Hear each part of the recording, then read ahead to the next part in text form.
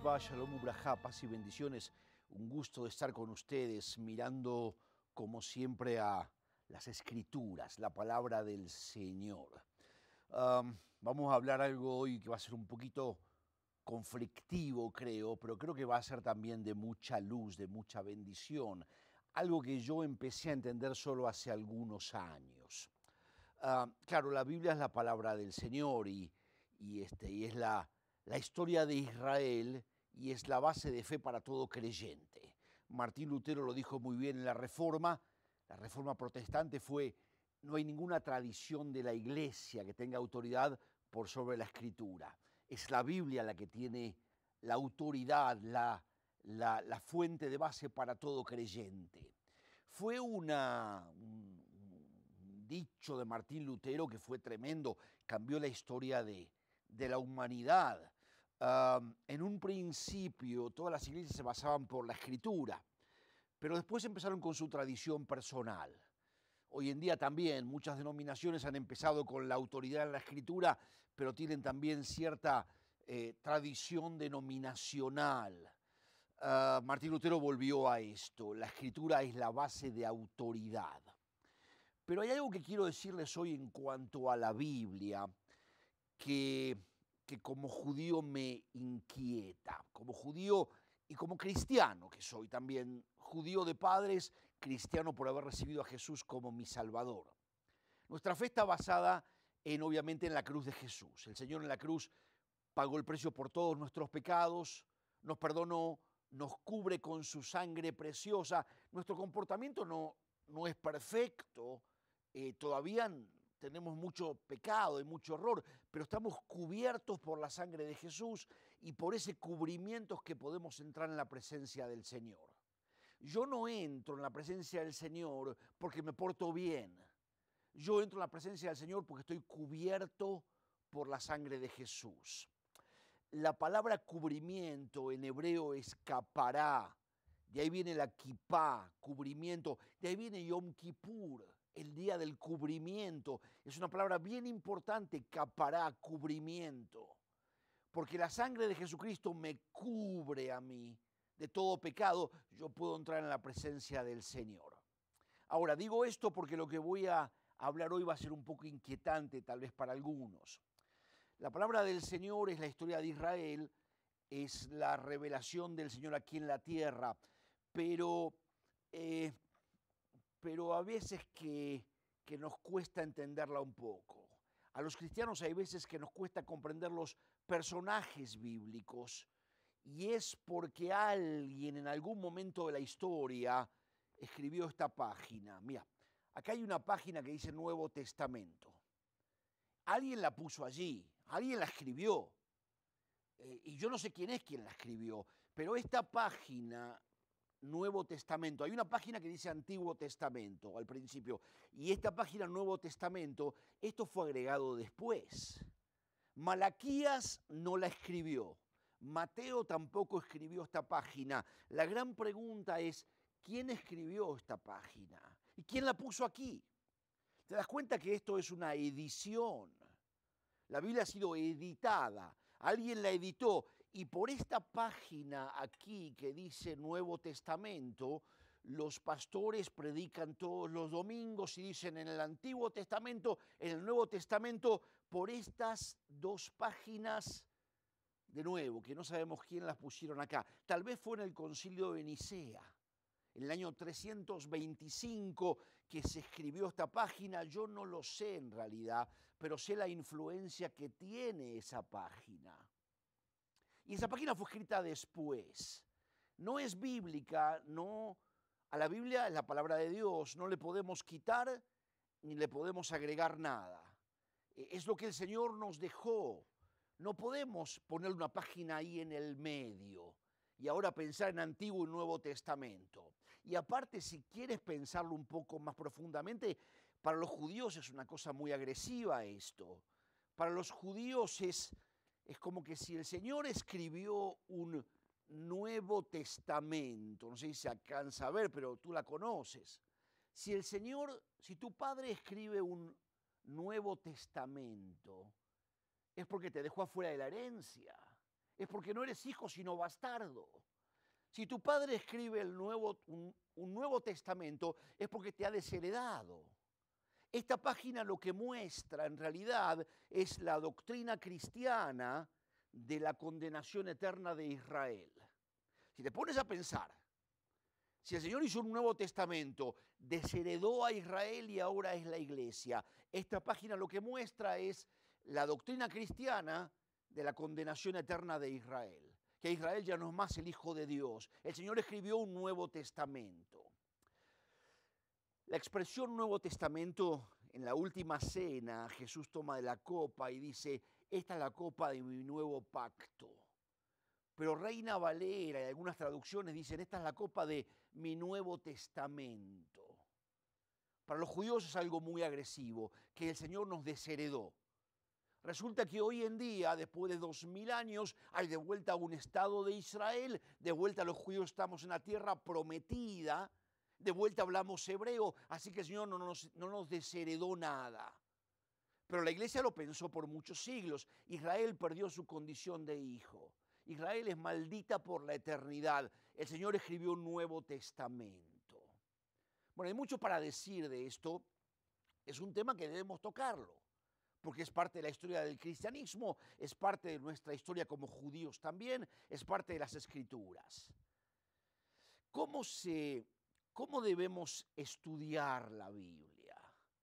Debemos estudiarla no en Antiguo y Nuevo Testamento, porque esas dos páginas son apócrifas, no son escritas por el Señor, no son obra del Espíritu Santo. La Biblia es la palabra de Dios, inspirada por el Espíritu Santo. Esas dos páginas fueron puestas después, no son obra del Espíritu Santo y están en tu Biblia y están en mi Biblia. Y no sé si debemos ser muy tolerantes con esta página porque nos está afectando demasiado. Y te voy a mostrar en este programa, seguramente en el que viene también, cuál es el efecto de esta página. Mira, empieza Mateo a escribir el Evangelio. Los cuatro Evangelios, Mateo, Marcos, Lucas y Juan, son cuatro testigos oculares de la muerte, de la vida, muerte y resurrección de Jesucristo. E, esos son los Evangelios. El primero es el de Mateo. Y Mateo va a empezar, empieza a contar la vida de Jesús, va a contar la muerte y la resurrección.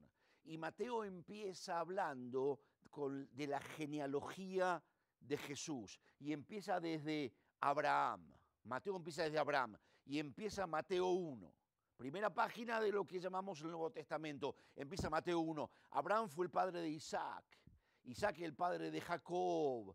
Jacob de José y sus hermanos, y viene toda la genealogía desde Abraham hasta Jesús. Dos mil años. Dos mil años de Abraham a Jesús. Y de Jesús a nosotros, dos mil años también. Dos mil años de Biblia. Dos mil años de la historia de Israel.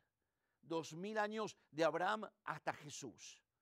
Es muy interesante para nosotros ver que en este momento estamos justo en el medio de Abraham hasta Jesús. Acá había un, un chart, un gráfico que lo vamos a usar bastante, de Abraham hasta Jesús, la genealogía. Así empieza Mateo capítulo 1, son dos mil años. Y sabes que de Jesús hasta nosotros que estamos allá son dos mil años también.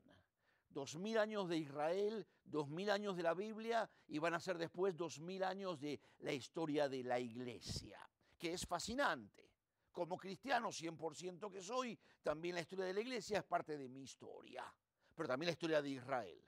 Pero fíjate lo que hace Mateo, Mateo 1.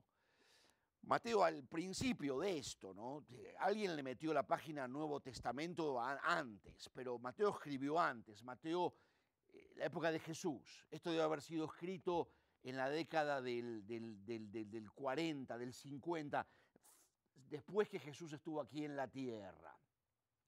Mateo dice Abraham, Isaac, Jacob, toda la genealogía hasta Jesús, e, el cuadro que ves atrás, justamente, obviamente. Pero después Mateo dice esto, Mateo 1, 17, capítulo 1, versículo 17, y es de lo que te quiero hablar en este día y vamos a hablar bastante. Mateo dice, de manera tal que, después de toda la genealogía, Mateo dice, de manera tal que, desde, desde Abraham, después de haber hecho toda la genealogía, de Abraham hasta Jesús. Dice, de manera tal que desde Abraham hasta David, este punto, esto es una raya del tiempo, ¿verdad? Desde Abraham hasta David, dice Mateo, habían 14 generaciones, grupo número uno. Desde David, acá estamos con David, desde David hasta Babilonia, 14 generaciones, grupo número dos, aquí. Generaciones de Abraham, generaciones de David, hasta Babilonia. Yo le puse, y desde Babilonia hasta Jesús, yo puse desde Daniel hasta Jesús. Yo lo cambié esto. No debemos cambiar nada de las escrituras, pero esto es porque Daniel es un muchachito de 15 años que es llevado a Babilonia, lo que hoy en día es Irak, tú sabes, la tierra de Saddam Hussein, se llamaba antiguamente Babilonia. Le cambiaron el nombre. Babilonia de antes es Irak de hoy en día. Entonces, desde David, acá tenemos David atrás mío, desde David hasta Babilonia o hasta Daniel, 14 generaciones, grupo 2. ¿Sabes cómo se llama esto? Se llaman las generaciones de David o periodo del primer templo.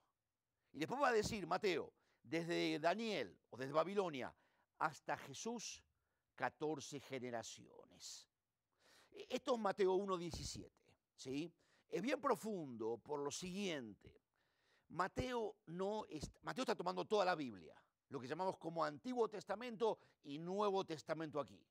Mateo toma toda la Biblia, pero no dice había un Antiguo Testamento, había un Nuevo Testamento. No, él no lo ve así. Mateo ve toda la Biblia, desde Abraham hasta Jesús, toda la Biblia, y Mateo lo divide en tres grupos. el grupo de Abraham, las generaciones de Abraham, o la formación de Israel. Yo estudié en Israel un curso en la universidad allá que era la formación de Israel, eran las generaciones de Abraham. Lo mismo que Mateo pensaba como estas 14 generaciones es la formación de Israel o generaciones de Abraham. Mateo después dice, las generaciones de David o periodo del primer templo, todas estas generaciones. Y ahora vamos a ir viendo, a medida que vamos avanzando, algunos personajes que aparecen allí. Y Mateo dice, grupo número 3, las generaciones de Daniel o de Babilonia. Yo le puse Daniel, porque con Daniel empieza el exilio en Babilonia. Las generaciones de Daniel o periodo del segundo templo. Claro, Daniel está en Babilonia, Regresamos después con Esdras y Nehemías, vamos a ver un poquito, y este es el segundo templo. En la historia de Israel hay solo dos templos, porque fue destruido el templo solamente dos veces. El templo de David, el primer templo, el templo de después del cautiverio de Babilonia, se llama el templo de Daniel o el templo de Esdras o Nehemías, segundo templo. Y el templo de Herodes, no, no, el templo de Herodes es una ampliación que Herodes le hizo al segundo templo. ¿Sí? es la última generación del segundo templo. Pero lo que quiero que vayamos es a esto. Nunca pensamos nosotros en la iglesia de esta manera. No pensamos en la iglesia de esta manera y esta es la manera en la cual Mateo piensa. Esta es la manera bíblica de mirar la Biblia.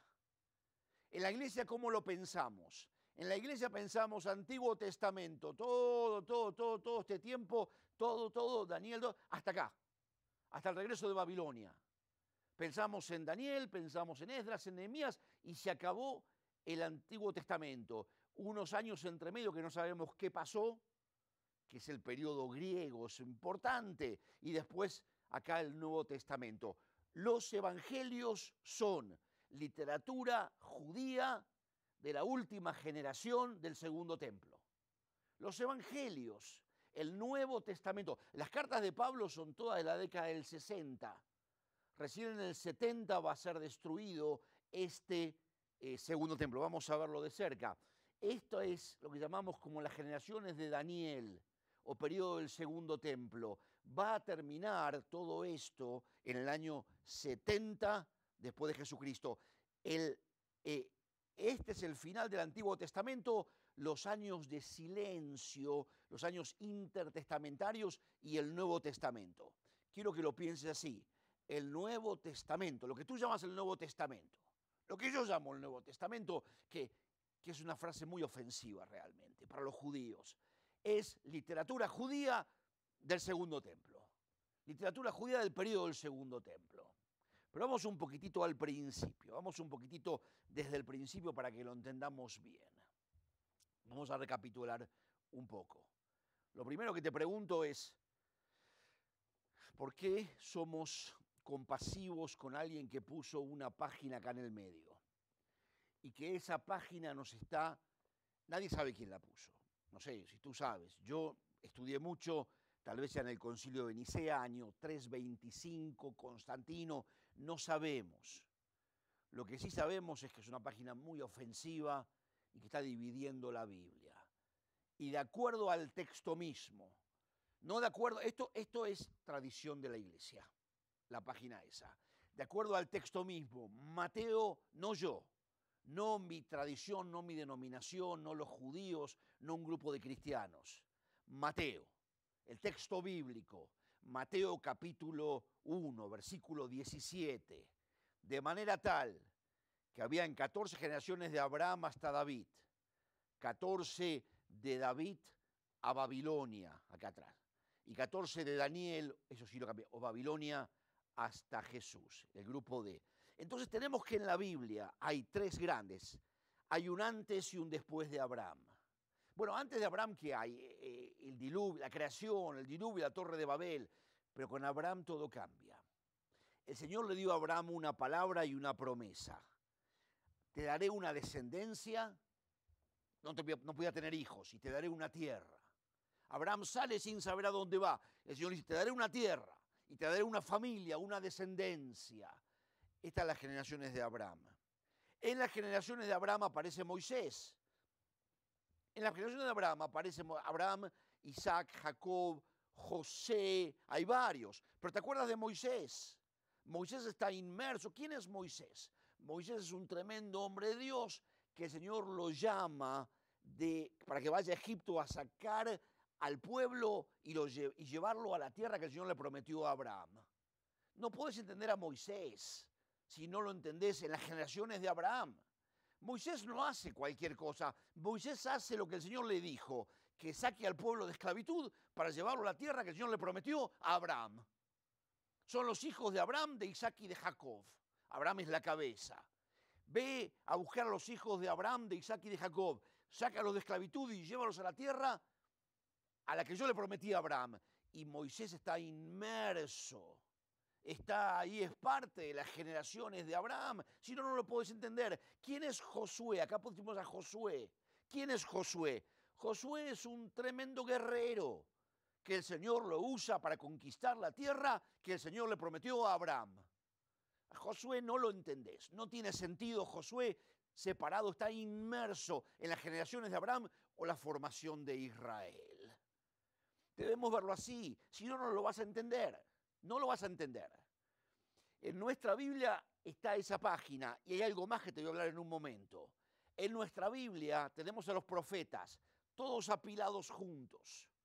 ¿Se acuerda cuántas páginas escribió cada uno? Isaías y viene Jeremías y después viene Ezequiel y viene Daniel. ¿De acuerdo cuántas páginas? ¿Dónde vivió el profeta Ageo? ¿Grupo 1, grupo 2 o grupo 3? Casi nadie sabe.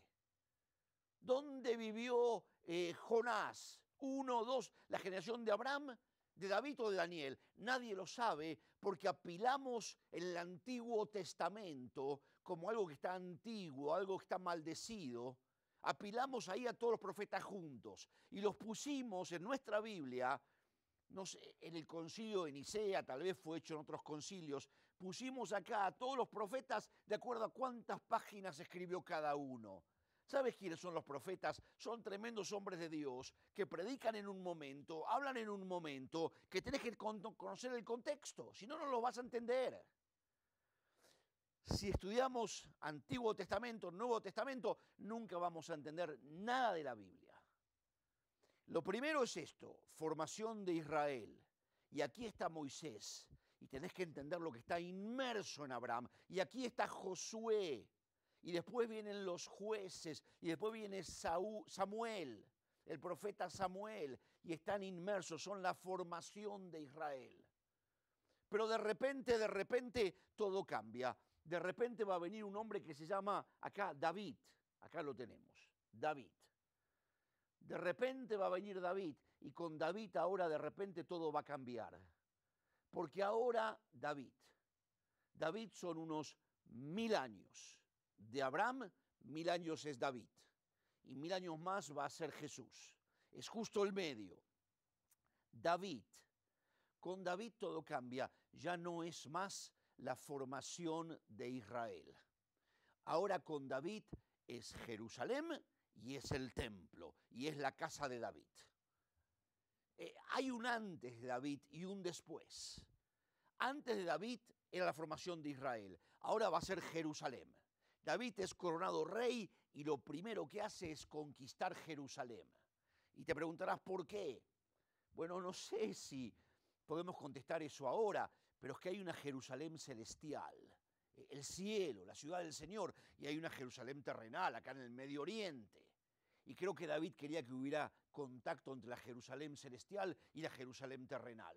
Pero lo cierto es que con este hombre, con David, todo cambia y ahora empezamos con Jerusalén y va a edificar David el templo. David dice, ¿cómo puede ser que yo viva? Es rey, nuevito, recién coronado. Y dice, ¿cómo puede ser que yo viva en un palacio y el arca, ¿sabes qué es el arca? Es una copia del trono de Dios en los cielos, aquí en la tierra hay un arca igualito en los cielos, es el trono de Dios en los cielos. El Señor se lo había dado a Moisés y Moisés lo copió y lo hizo acá en la tierra. ¿Cómo puede ser que el trono de Dios, la copia del trono de Dios, el arca, esté en medio de unas tiendas, en medio de cortinas? Y yo viva en un palacio, le haré una casa al arca, un templo al arca, le haré un templo para que adore ahí. Y aparece el Señor y dice, yo le pedí a David eso, yo le pedí a David una casa, yo no le pedí tanto a David. El Señor está enamorado del corazón de David, creo yo. Le viene a Natán, al profeta, le dice, dile a David que él no me edificará una casa a mí, que yo le edificaré una casa a él. Cuando David habla de una casa, habla de un edificio para el arca. Cuando el Señor habla de edificarle una casa a David, habla de una dinastía habla de una familia, la dinastía de David. Y acá comienza la dinastía de David, acá. Y de David va a venir uno que va a ser rey eterno en Israel. Y de David vino Jesús. Y como no lo recibimos los judíos, el Señor ascendió, pero vuelve para reinar en la ciudad de David, en Jerusalén. Acá empieza, empezó con Abraham, obviamente, muy importante, la formación de Israel, pero ahora tenemos periodo del primer templo, las generaciones de David, el templo, Jerusalén, las promesas de Dios se hacen cada vez más cercanas y el que entra a Jerusalén es como entrar al cielo. El que entra al cielo es casi como entrar a Jerusalén. Y después de David viene Salomón, su hijo, el hijo de David, Salomón, un imperio tremendo. Ahora, hay cosas impresionantes. Este, la reina de Saba, viene. Y no, este, la reina de Saba, una reina pagana, viene de lejos y dice, lo que me contaron en mi pueblo es poco en relación a lo que he visto en estos días. Obviamente el rey de los cielos, el Dios de los cielos, está en medio de ustedes. Eso era, que viniera un pagano y viera lo que pasa ahí en Jerusalén y que entonces diga, el Dios de los cielos está acá en medio de todos ustedes. Pero sabes que Salomón, Salomón, aunque era muy sabio, llenó de impuestos a todo el reino. Llenó de impuestos, puso, de, puso una ostentación de oro en Jerusalén. Muchos no saben esto. El día que Salomón muera hay una revolución. Y Israel, el país, todo el país queda dividido en dos. Diez tribus se separan y quedan solamente dos tribus en Jerusalén. Y vamos a tener que seguir con esto mañana, en el, próximo programa. Vamos a seguir en el próximo programa porque estoy mirando el reloj, se nos acaba el tiempo, pero quiero que entiendas esto en este programa de hoy. Quiero que al menos entiendas que la Biblia no es Antiguo Testamento y Nuevo Testamento. La Biblia son tres grupos de 14 generaciones. Así es como lo debemos mirar. La dinámica es diferente. En el próximo programa te lo voy a explicar un poquito más en profundidad para que puedas entender bien cómo trazar las escrituras. La próxima nos vemos. Shalom Ubraja. Paz y bendiciones.